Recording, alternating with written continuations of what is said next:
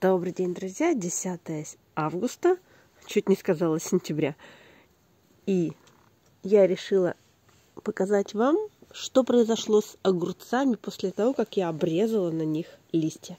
Я вам показывала, что листья были какие-то не очень здоровые, причем на одной только половине огуречника с этой стороны, ой, зацепилась, с этой стороны возле арбузов все значительно было симпатичнее, а вот с этой стороны как-то так приболели огурчики. И смотрите, пошли, конечно, молодые побежки. Вот такие они симпатичные. Я не просто обрезала листики, я еще и подкормила огурчики. Сказать, что здесь прям много-много огурцов, я не скажу. Здесь э, сколько? Шесть кустов. Ой. Слушайте, я боюсь. Тут кто-то ползает, что ли. Тут крыса, это она меня просто... Просто... Ой, боюсь. Вот. Огурчиков, конечно, здесь немного, но они есть. Но меня э, радует то, что пошла молодая здоровая ботва. Здесь стоит бочка. Я в прошлые выходные подкормила, а в позапрошлые обрезала листья. То есть за две недели наросли вот такие маленькие росточки. И вот тут видны маленькие новые огурчики, которые будут нас радовать еще и, надеюсь, очень долго. Вот. Что я хочу еще показать? Вон огурчики, огурчики. Хочу показать, я показывала, что у меня произошло с уличными помидорами. И вот показываю свои тепличные помидоры. И вот видно, да, что они тоже начали приболеть. И чтобы вот их спасти, конечно же, тепличные помидоры мне нужны.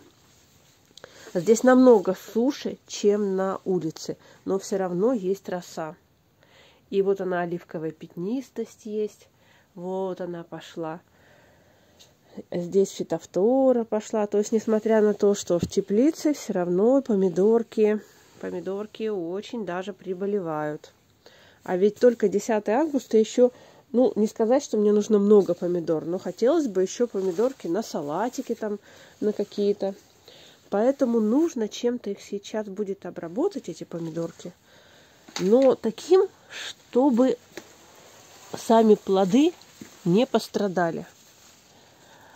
И вот я думаю, обработать мне все это хомом, смотрите, тут тоже фитофторка, или все-таки нужен привикур энерджи.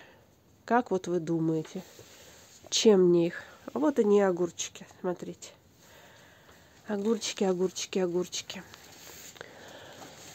Тут вообще заросли, но там с той стороны еще идет лоза виноградная, поэтому они наложились. И огурцы туда пошли.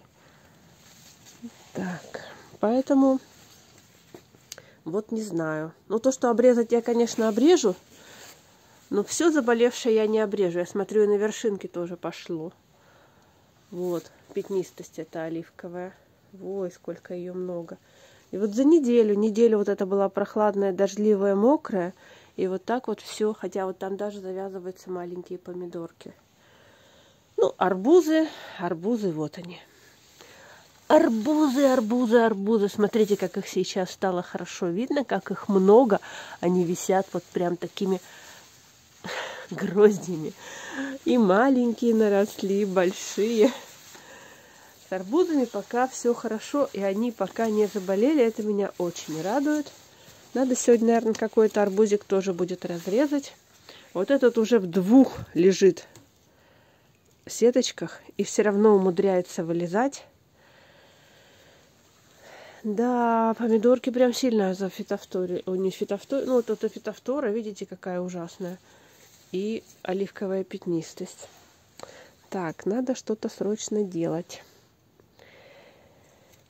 Но ничего, я думаю, что каким-то образом я все-таки с ней справлюсь. И потом, вот есть кустики, которые практически не пострадали. Это торопышка помидор, да, вот внизу есть оливковая пятнистость, а вверху поменьше. Да, я смотрю, что вот есть, есть, которые не очень приболели, по крайней мере, верхушки. Значит, верхушки можно будет еще спасти. Ну, на низушках тут, конечно, урожая полно. А сейчас, сейчас пойдем в маленькую теплицу.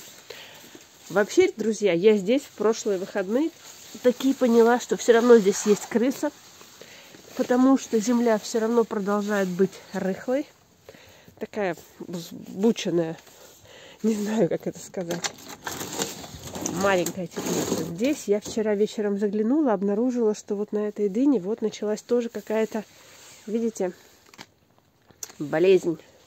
И вот там такое же. Но с дынями проще, как раз вот эти... О, тут что-то приболело совсем нехорошо. Выкидываем это. Здесь эти кустики, это я могу полить привикуром. Тут их буквально вот два таких я нашла. А нет, вот третий такой же. Это торпеда. Чтобы они дозрели, я их пролью. Меня интересует мой пепино. Пепино мой растет.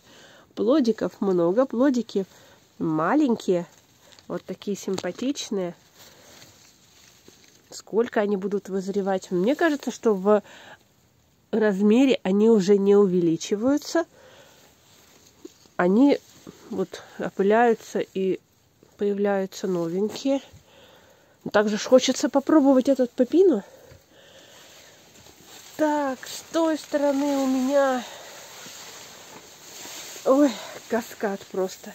Просто красота. Мои любимые черри магнифика, про которые я не перестаю разговаривать. И, кстати, здесь тоже появилась фитофтора, хотя здесь ее меньше. Здесь хоть и заросли, но здесь очень мало э, растений помидор. И здесь они редко сажались. Но там я вижу оливковую пятнистость. Так, здесь у нас синенькие, они же баклажанчики, вот такие красивые.